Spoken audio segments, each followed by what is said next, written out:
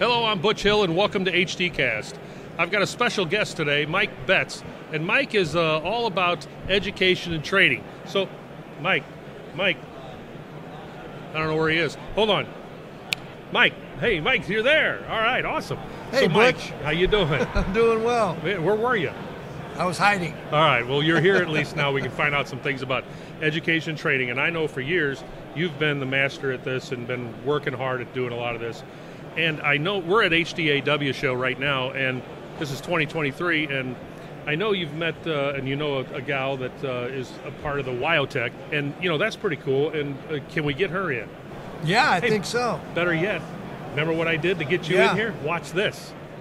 Hello, Mike. Cindy, how are you? I'm good. How are you doing? I am having the best time here at HDAW. You know, it's so great to meet you. Uh, we so appreciate you and WyoTech coming to this amazing event and introducing us to, you know, all the great things you're doing. And the show you did today, you know, the, the panel on, you know, women in the industry and, you know, what it takes to be successful and those amazing panelists you had today just Yeah. were so impressive. Yes, Bonnie and Jen, they really have led forward in the industry, and, and they're that perfect example of strong women doing amazing things. they're kind of you know they're not just starting out you know and, and bonnie's like a champion uh, award winner two big awards last year or two Yeah, Bonnie is actually the first woman to have won Future Tech at TMC. And then just this last year, she came back on a professional level with FedEx and she placed second at TMC. So she is amazing. Uh, No doubt one of these days she's going to bring it all home. yeah and then jen uh, happens to work for betts truck parts and service as a manager and oversees you know all the management of our portland branch and what a background she has in uh, you know she was a mechanic she ran other businesses in heavy truck And a mom. She's a mom of three kids. Yeah. And in and amongst all of that, carried that weight. So to me, she's a true hero and in sticking with it. And then her quiet leadership and the way she pushes forward is very admirable and a good example and a strong advocate for women as they go forward.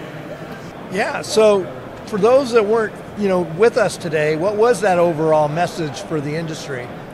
That message was, you know, women are um, 2% basically of the overall industry, and we want to change that. We want to change the, perce- the uh, perception of women in automotive and diesel. We want to be able to talk about the great opportunities for them in these career paths. And if they love working on cars and trucks, this is an excellent career path for them.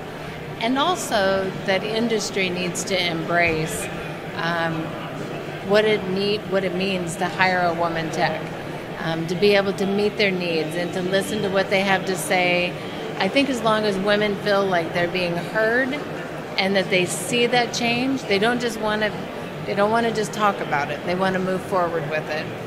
The one thing that I really found compelling with Jen was you have given her a career path and it was one of the most inspiring things to listen to because she really feels like she has a future and something to build on and that's that's admirable at Betts so good job Oh, thank you. yeah Um, you know, listening to them, you know, on the panel, um, saying how much they just want to be treated like anybody else.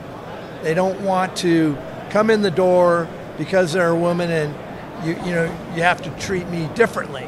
So, but they want to be treated respectfully and be admired just like everybody else. right as in anything you want to fill a position because you're the most qualified and you don't want that to be questioned later on you want to give your best and do your best so to just fill a quota is applying for a job uh, to go into a career is an opportunity to grow.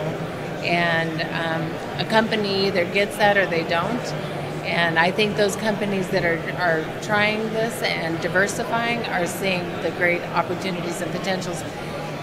And there's there's the good, the bad, the ugly, right? We all have to address those things. But again, let's keep the idea that the reason we're doing this is that demographic of women that drive new cars every single year is 52%. Yeah, well, women That's a are big deal. women are 52% of the workforce. There you go. You guys are, I mean, unbelievable what's going on. And what about after World War II when Rosie the Riveter came in, right? And Yeah. the muscle out there saying, we can do it. They were manufacturers, they were building cars, they were building ammunition. And so, why we fall back into that same stigma doesn't really make a whole lot of sense. And let's also face it the reason women are, are looking at all career paths is that it takes more than just that one income to sustain a family anymore. So gone are the days when you can just have a one income family and they want to be able to contribute. They want to contribute at a level that based off of their abilities they're eligible to receive that payment and and respect. So I think it's important that you know we may be small but we're mighty is there's a lot of truth to that. And then, Cindy, you guys, you know, since you've come aboard at WyoTech, I mean, you have 850 students graduating a year. Well, so let me rephrase that. We've got, we start every quarter, we graduate every quarter. So the really cool thing about WyoTech is that we are still growing in as much as our population changes every quarter. So our population base of WyoTech right now is 850 students. And then we will graduate again coming up here in January, February, March. And then we'll have another new start. In October of this last year, we started over 325 brand new students in one start. So as we move into this next year, you know, we're hoping that our population base at one given time will be around 1,100. And we've got plans and, and drawings and permitting already done on 72 acres across the road to continue our growth. We just added a 90,000 square foot automotive facility that's full. Wow. And so when you think of the fact that 90,000 square foot opened in October 1, started January 1, we have the most remarkable facilities director, and he subbed out the entire build. But in light of everybody else with their, you know, shortages and not able to get parts and not able to get this, that, not us. We were able to build a 90,000 square foot automotive facility in what is that? Seven months, nine months? Well, WyoTech is definitely back under your leadership. I mean, you're doing an amazing job. Um, you know, again, I we can't thank you enough for all you're doing. Um, I understand you're taking some of the heavy-duty uh, marketing groups uh, members up to WyoTech in April.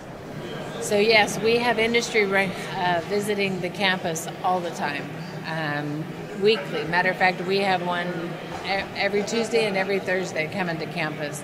And in April, we are talking about having the HD come up and have one of their major spring meetings at WyoTech, see our facility.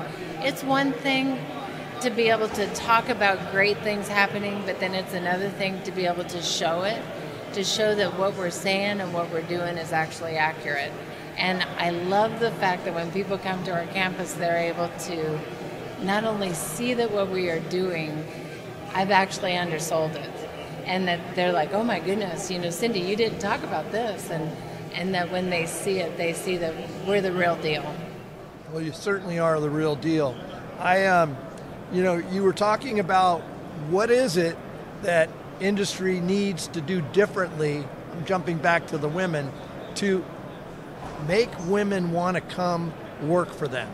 What do they need to do differently that they're not doing to be more successful for the future? You know, honestly, this is going to take time. This is one of those things where we've got seven generations of people on this earth right now, and every generation has a different way of thinking, right?